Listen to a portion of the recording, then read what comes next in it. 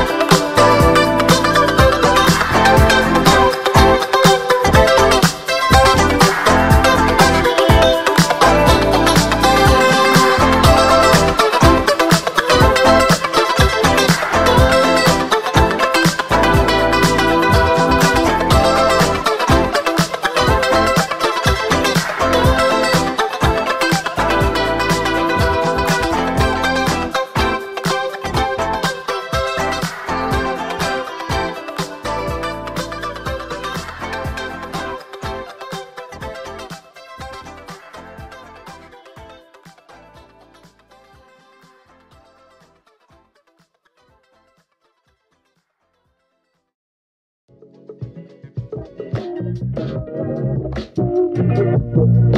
you.